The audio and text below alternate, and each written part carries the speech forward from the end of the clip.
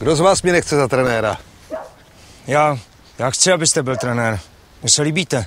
Ale to, co se mi nelíbí, je, že třeba po spoluhráčích střílíte ze vzduchovky. Představ si, že jsi trenér, jo? Mm-hmm. Že bys třeba jako na chvíli byl trenér. No. Jo. A někdo ti nepřišel na zápas. Aha. Co bys udělal?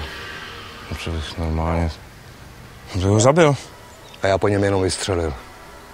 Pojď, pojď, pojď, dej to z první polaně. Pojď, pojď, polaně. Dobře, dobře. Tak si to zopakujeme.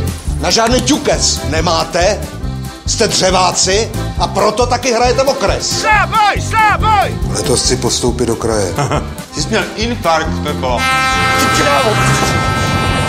Kluci vyzráli. Jsem si říkal, že bych třeba taky jednou mohl být trenér. Myslíš? Čeče, neříkej mi, že ji pořád ještě brousí tam ten, jak on se jmenuje, nosí k nám domů Angrešt. Tak co, jak to jde? Dej jsem tu pásku. Jakou pásku? Tuhle! Proč?